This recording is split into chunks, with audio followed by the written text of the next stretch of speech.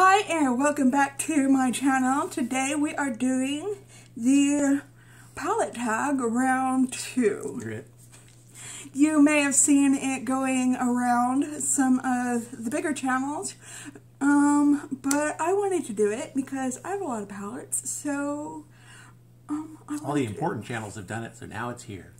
And um, I did the first the first tag. I will have that link down below. But I did that way back, two years ago or so, when I didn't have a lot of palettes, and so it's not that good. Back in but, the olden times. But you can watch that if you want to. Uh, Erin's going to do this with me. I'll put the prompts down below if you want to do it. And yeah, I challenge all of you who have a channel to do this too. Challenge. And um, yeah, hi, my name is Jennifer, and this is my husband Erin, Hello. and I do makeup material on my channel. I, I, help do sometimes. I do unboxings, and I do uh, per my channel name. I am agoraphobic, so I do talk about agoraphobic material and mental health stuff. So if you're into any of those topics, or if you're into all those topics, then I highly recommend you hit subscribe and hit that notification bell and set it to all. Do it. So Do it now. That you're notified every time that I upload a video. So if you're into seeing some of our favorite palettes, then hang tight because we are getting right into it.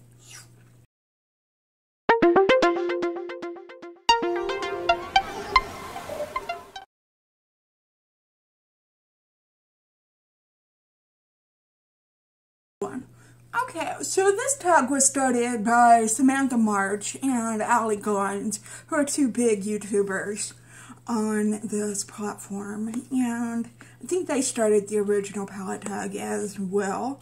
So, um, but it's been going around to all the YouTubers. And like I said, feel free to um, do it yourself. I'd love to see what you have to say about all your palettes. I know a lot of you I out would there. also love to see. I know a lot of you out there have a lot of palettes. And um, the first prompt is for us to show you our all-time favorite palette. So mine is the ABH Sultry palette. I got this not last Christmas, but the Christmas before that when ABH brought it out and had a special on it. And so mine is relatively new. It's not that old. But I just love all of these glittery metallics and neutral shades in here. Um, I just love making up looks with this. I just love this palette a lot. Just fabulous. And the sparkly case. Oh yeah. I love the sparkly case too, even though I don't keep it. It's I don't keep it very it well still kept. It still It sparkles. still Yeah. sparkles.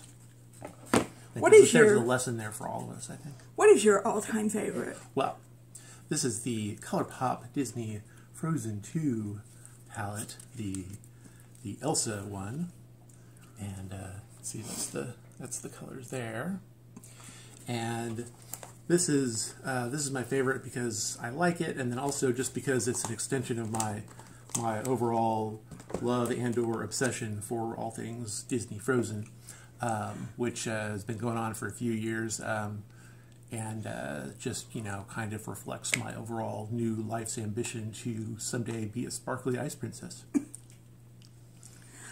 Okay, the next prompt is for us to show you our new favorite palette.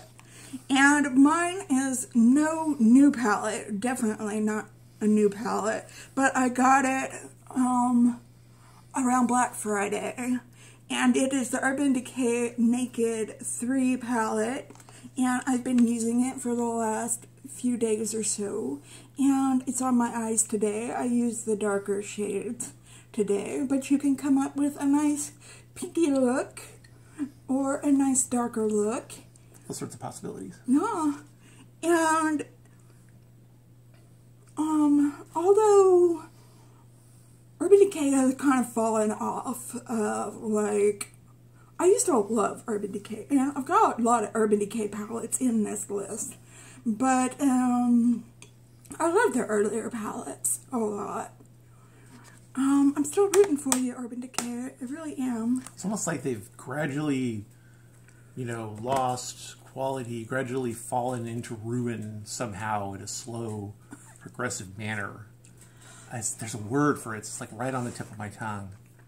Anyway, so uh, here's my next new favorite here, which is the She Glam from Shein, where things start with she. It's the spontaneous Sagittarius problem. I mean, and you know, I tried looking at He Glam and, and He and they were terrible. So, you know, I mean, just, what are you going to do, right?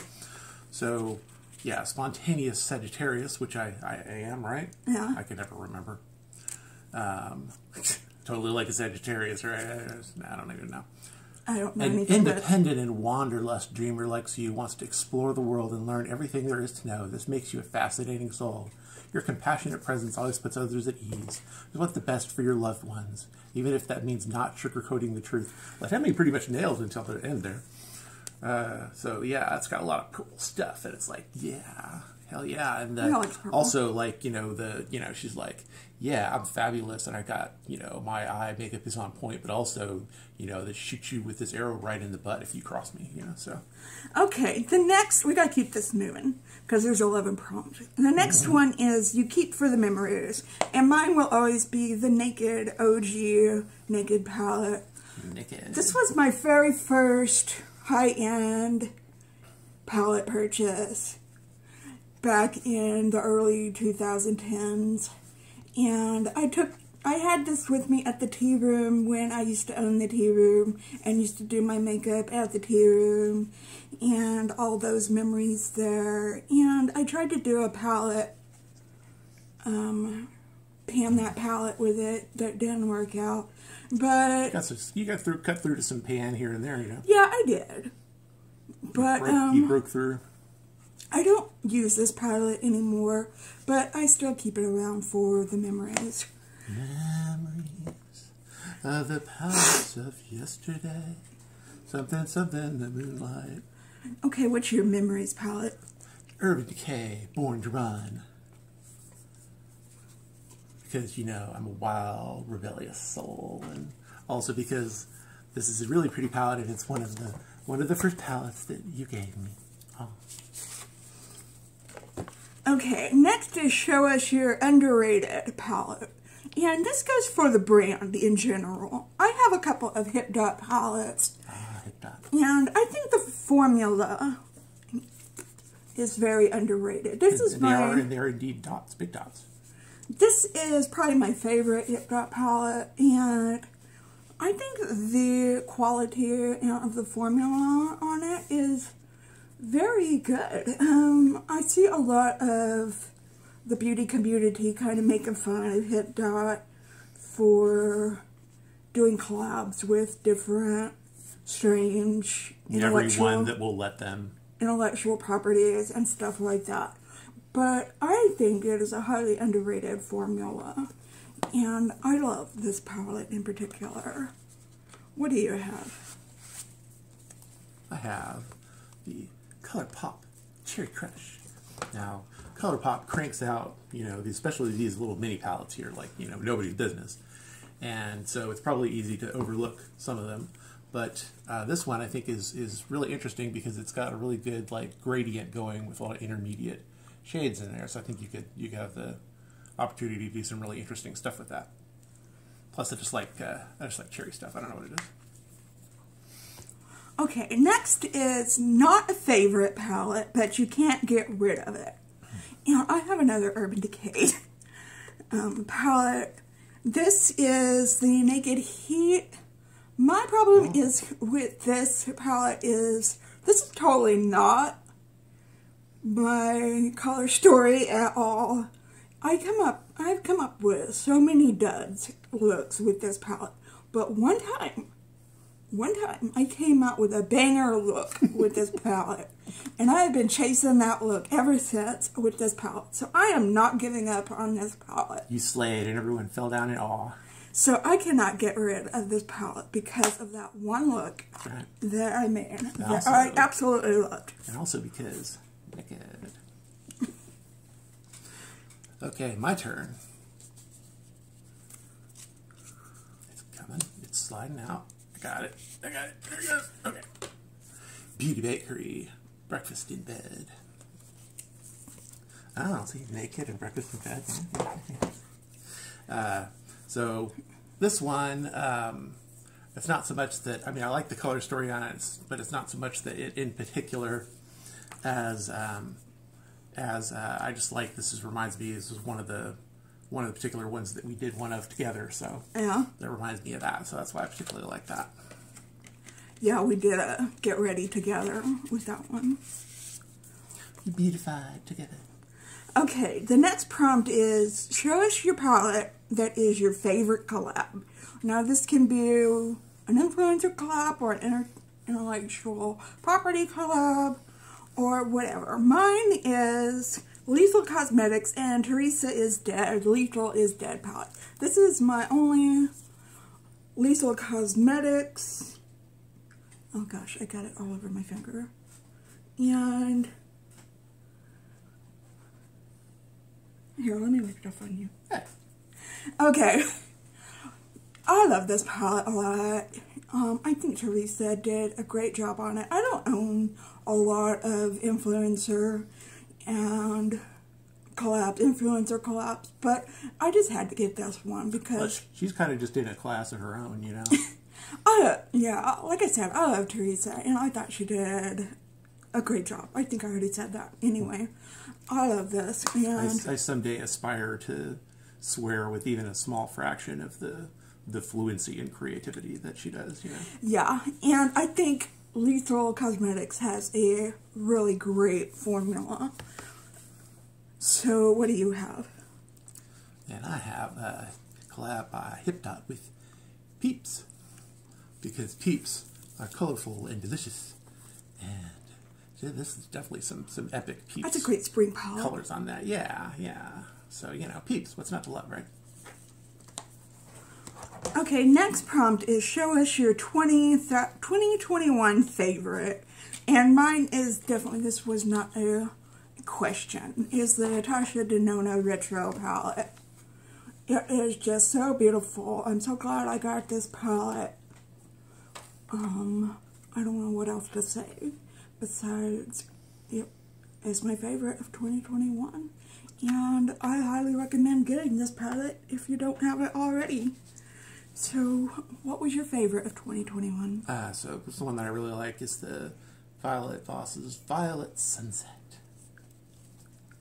And it's not, it's, it's you know, it's it's not like the the colors in it. It's not like it's um, you know tons and tons of purple or one particular one. It's just something about the combination of the color story on this one that I really like. Really does bring this whole sunset vibe, and yeah, I just think it's it's got some really cool stuff.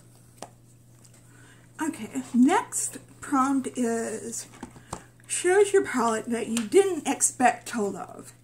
And this was the first palette I ever tried. Not the first one I ever bought, but the first one I ever tried from Nomad Cosmetics. And it's their America's Parks palette. And this was the palette that just made me fall in love with their formula. Um, I know it's kind of a hard palette to kind of navigate, but I've come up with some really cool looks with this if you just give it a chance. And I really didn't expect to love this palette because it looks so challenging, but Color the story is a, is a hard read. yeah, but the formula is just head over heels great. And yeah, I love the Nomad Cosmetics. So, uh, so this one is the Ace Ace Beauty Ace Boot Ace Booty Ace Beauté. Ace Beauty uh, Falling for You. Now, I like I like fall stuff, but I probably gravitate towards the the spring stuff um, a little more. Typically, with you know all the the bright colors and florals, you know, because uh, because uh, you know basically I'm a girly girl, and uh, But uh, this one, this has got some really cool fall stuff in it, and um, this is definitely one that I'm going to give uh, a little more tries to. It's good, some good shivers and stuff too. Yeah. Okay, show us your palette that sparks joy. And I have loved this palette for a long time. Again, it is one of the first, it, it was like the first palette I bought from Ace Beauté, and it is their Flare palette. Um, it used to be like my favorite palette that I ever had, but I've kind of grown more into neutral looks. And you can get a neutral look from this palette, but every time I look at all those colors, all those great, beautiful colors, it just brings me a lot of joy and reminds me how much I love Ace Beauté. and this one is the ColourPop Lush Life, and and yeah, I'm kind of a I'm kind of a sucker for ColourPop stuff. They got me. Uh, but they uh, this one uh, is just very just very sort of bright and alive and vivid and and you know you look at the graphics and it's like yeah it's like this is going to be awesome and also a tiger might eat your face but in an awesome way okay the next is show us a newest show us your newest palette in your collection. And mine i haven't even taken out of the box yet because i want to do that when i do my video on it. And it is the natasha denona mini crush palette. Natasha um, Denona. yeah, I wouldn't say this is necessarily my favorite, one of my favorite color um, stories. I'm not that much into pink and red, but I thought I'd give it a chance, and I'm looking forward to doing a video on it. And the the new new one that I'm interested in is the Purple Haze one by Huda Beauty, which we talked about before when they got it in their bags or whatever the yeah Ipsy. So that's the that's the one on that. That's just got some really cool stuff that I want to give a shot to. So yeah, and the final prompt is first palette you used in the year 2022, and I had to look back at my videos, and it was the Natasha Denona Mini Biba palette which I really like a lot the more I've been using it. So, y'all, yeah, shout out to Natasha Denona and Urban Decay. Right. And I don't have the first palette used in 2022 because most of the time when I do makeup, it's it's on this channel because yeah, we haven't done any. It's hard to find, hard for me to find, you know, beauty time sometimes. and, uh, and we haven't done any done any big ones yet this year, so yeah. Hopefully, I will see. So again, I will leave these prompts in the description down below. Um, I would love to see more people out there do this palette tag round two. Again, I will leave my video where I did round one, and those have the prompts in it as well. And, um, yeah. Um, give this video a big thumbs up if you liked it. It really helps my channel out, and it only takes a second, and yeah, I hope you are all having an amazing, wonderful day today, and if you are not, I hope that something comes along and sparks your day so that you can have a wonderful rest of your weekend or beginning of your week whenever you are watching this. And if you're having an especially hard time, remember we are thinking about you and sending you out all those good vibes for you. And remember to stay strong, stay healthy, and stay safe out there. And I will see you tomorrow for my make my mask Monday. Okay.